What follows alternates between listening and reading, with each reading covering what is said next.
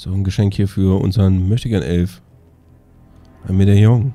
Eine alte Gemme, die eine wunderschöne Frau mit Juwelen im Haar darstellt. Sie ist vorne in ein filigran gearbeitetes Medaillon eingesetzt. Aha. Magierauge ist ein Dingens. Hier ist ein Bogen. Ist interessant. Okay. Ach, da haben wir auch einen Ladenbesitzer. Ist ja nett. Wer seid ihr? Ihr kommt nicht aus Haven. Ich bin der Dieb, der dich gerade bestohlen hat. Ähm, warum sagt mir das jeder, als ob ihr das nicht selber wüsste? Wir haben hier nur wenige Besucher. Mhm. Könnt ihr mir etwas über Haven erzählen? Wie beschreibt ihr einen Ort, den ihr nur als Heimat kennt? Hm, bestimmt. Äh, habt ihr einen Mann namens Bruder Genetivi gesehen? Nein, den Namen habe ich nie gehört. Ist, der La äh, ist das der Laden nicht mehr zu handeln? Viel habe ich nicht. Ihr könnt es euch ja mal ansehen. Hm. Schauen wir es mal an. Sieht aus wie Zeug. Ja, hat er auch wirklich nicht viel. Hier diese Bänderrüstung, die kannst du mal haben. Den Dolch auch. Meteoritenschwert.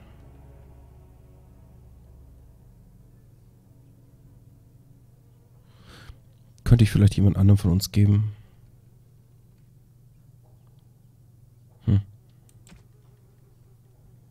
Das Schild kannst du haben. Das Ding.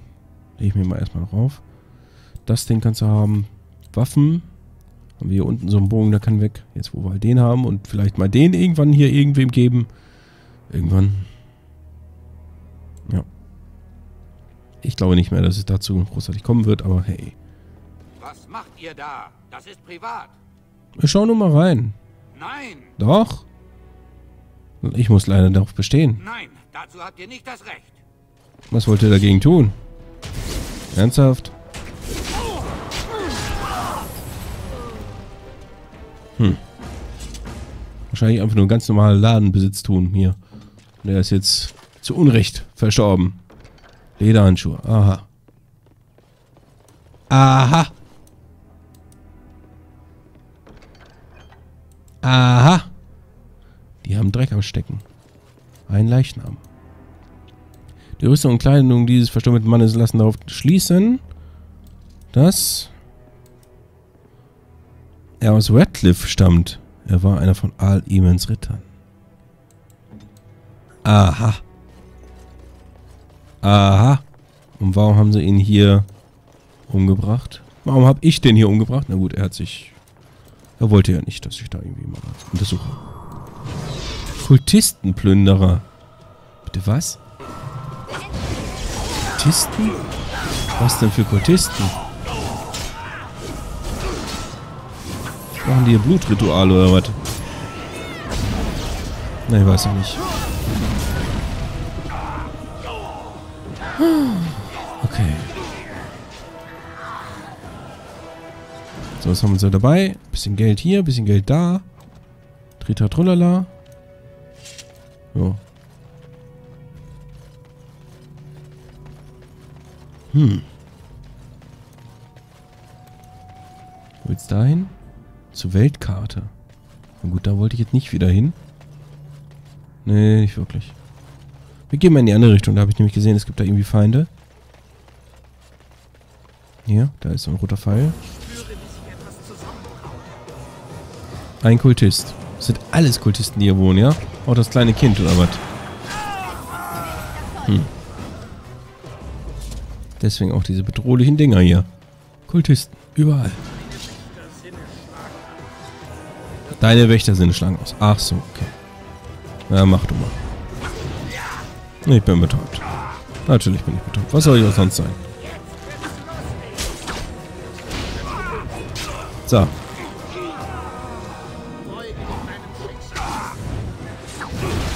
Zack.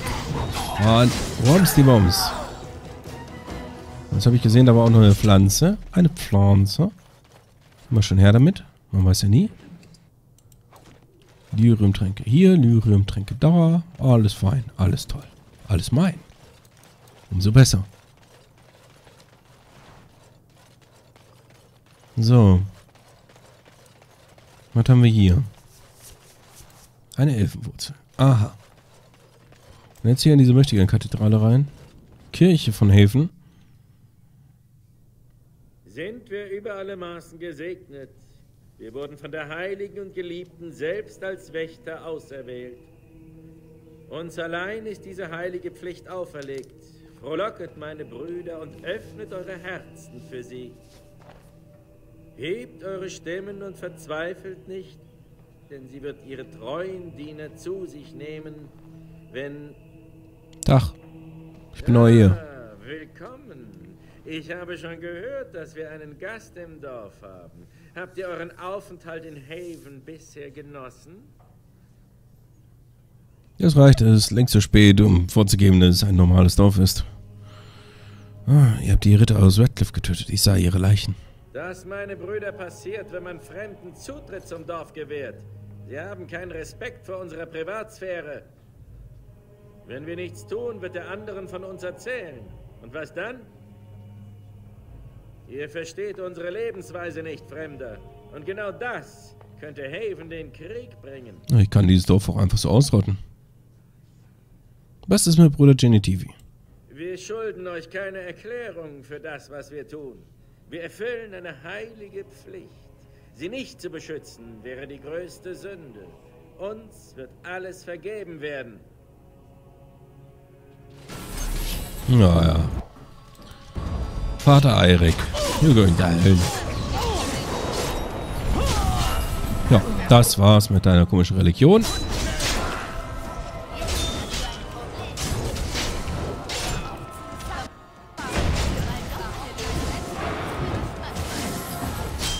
Kultisten. Immer wieder lustiges Völkchen. So, der hat dabei Kultistmedaillon. Eine sehr große, runde Bronzescheibe mit dem Symbol der von Andraste. Aha. Und eine Verletzungsrüstung, okay. Na dann. War es wohl mit dem Kult, hä? Oder aber es geht noch viel weiter. Ich weiß es nicht. Eine Ziegelwand.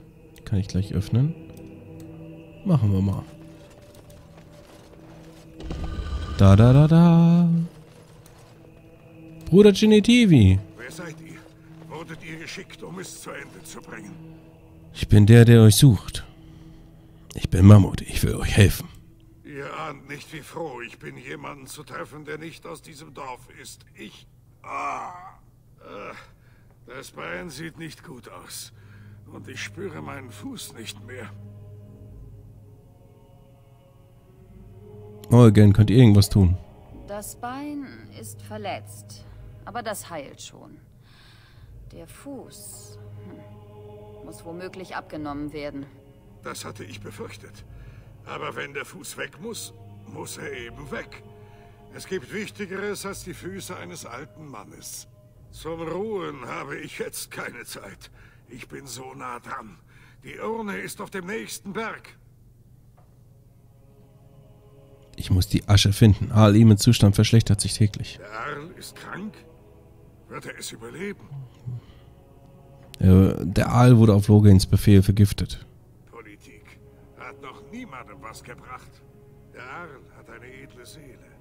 Aber die Asche, die Asche heilt ihn mit Sicherheit. Haven liegt im Schatten des Berges, der die Urne enthält. Es gibt dort einen alten Tempel, der zu ihrem Schutz errichtet wurde. Die Tür ist immer verschlossen, aber ich kenne den Schlüssel. Eirik trägt ein Medaillon, das die Tempeltür öffnet. Ich habe gesehen, was er damit alles macht. Dieses Medaillon? Ja, das ist euer Schlüssel. Bringt mich zum Berg, dann zeige ich es euch. Erst muss der Fuß ab. Ähm.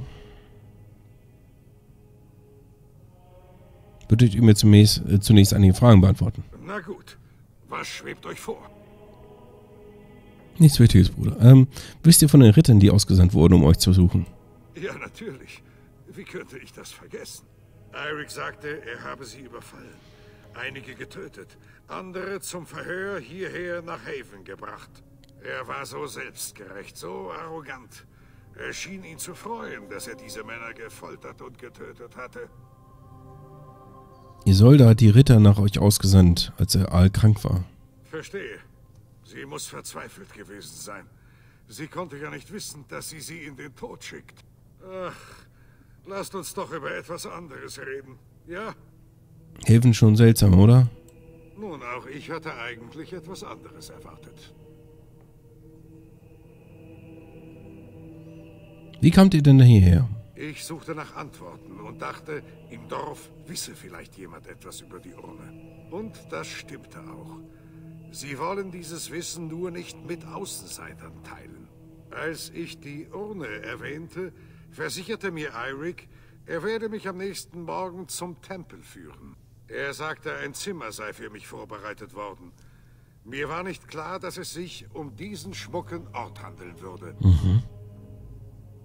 Frage ist nur, warum haben sie ihn hier festgehalten so lange? Ähm, was wisst ihr über Haven und seine Einwohner? Sie nennen sich selbst Jünger von Andraste und sind ihr völlig ergeben. Es grenzt bereits an Fanatismus. Sie müssen hier sein, um die Urne zu beschützen. Aber Sie sprechen von Andraste, als wäre sie noch am Leben. Mhm. Wäre das möglich? Ich bin alt genug, um zu wissen, dass alles möglich ist. Wolltet ihr noch etwas anderes besprechen? Warum hat Haven verehrte Väter? Ich weiß nicht. Bei der Gründung der Kirche wurde festgelegt, dass nur Frauen zum Priester geweiht würden. Möglicherweise sind die Dorfbewohner, also die Jünger von Andraste, älter als die Kirche und halten sich deshalb nicht an ihre Regeln. Mhm. Die Asche wird Al-Imen doch heilen, oder? Hoffentlich kann die Asche das. Ihre Wunderheilkräfte sind legendär. Es gibt Geschichten von geheilten Pilgern, Blinden, die wieder sehen und Lahmen, die wieder tanzen konnten. Vielleicht wirkt Andraste diese Wunder. Aber es könnte auch nur der Glaube sein. Wer an die Zauberkräfte der Asche glaubt, für den werden sie auch wirksam. Hm, das könnte möglich sein. Aber darüber können wir reden, wenn wir die Asche haben und es dem Arm besser geht. Gut, dann wollen wir los, ne? Und beschafft das Medaillon. Ich hab's doch. Habt ihr von diesem Medaillon gesprochen? Ja, das ist euer Schlüssel. Bringt mich zum Berg, dann zeige ich es euch. Ja, in Ordnung, brechen wir auf. Gut, helft mir auf.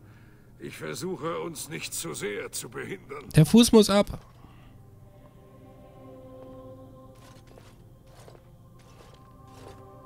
Hm. Dass er so dann damit gehen kann, mit so einem gefühlslosen Fuß? Weiß nicht, kann mir schwer vorstellen. Also, wenn dann humpelnd. Hm. Wir sind da, wer noch? Ich wollte mich eigentlich noch umsehen, aber okay. Gebt mir das Medaillon. Mal sehen, ob ich alles behalten habe. Ja, dann mal ja. los. Seht ihr? Man kann Teile bewegen. Und zwar so. Und erhält einen Schlüssel, der den Weg öffnet. Und jetzt? Nun, wo gehört er hin?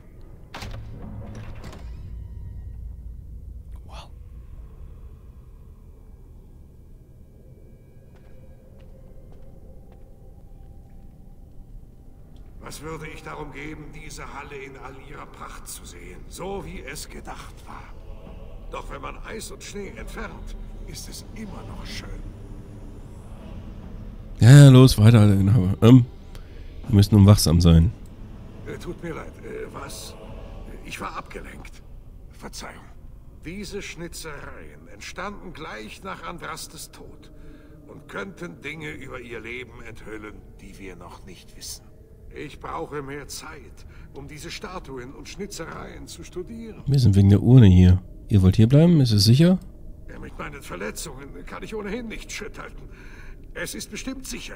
Dorfbewohner dürfte es hier nicht geben. Geht nur. Ich komme zurecht. Es war wohl mein Schicksal, euch zur Urne zu führen. Ich muss doch nochmal zur Kirche zurück. Da gibt es bestimmt in einem anderen Raum auch noch irgendwie Loot. Ähm, muss ich sonst noch was über diesen Tempel wissen? Er sollte die Urne vor allen schützen, die sie stehlen oder zerstören wollten. Namentlich dem Reich von Tivinter. Okay. Ich will der Urne doch gar nicht schaden. Das wäre auch fatal. Denn laut Legende würdet ihr die Urne mit Bosheit im Herzen ohnehin niemals erreichen. Gut, dann erreiche ich sie nicht. Nur der Fromme darf die heilige Asche schauen. Den Ungläubigen erwarten Tod und Ungemach. Der Blick des Erbauers fällt auf Andrastes letzte Ruhestätte. Er weint um seine Geliebte. Und sein Zorn auf ihre Peiniger bleibt bestehen. Der Erbauer, er ist hier. So lautet die Legende. Vielleicht beobachtet der Erbauer diesen Ort wirklich. Doch lest zwischen den Zeilen. Dann erkennt ihr, dass hier nur eine einfache Wahrheit bildhaft und etwas übertrieben vermittelt wird. Niemand will sowas hören wie Willi perfektionierte nach vielen mühseligen Jahren die erstaunlichen Mechanismen, die dem unachtsamen Eindringling spitze Nägel in den Allerwertesten jagen. Warum nicht?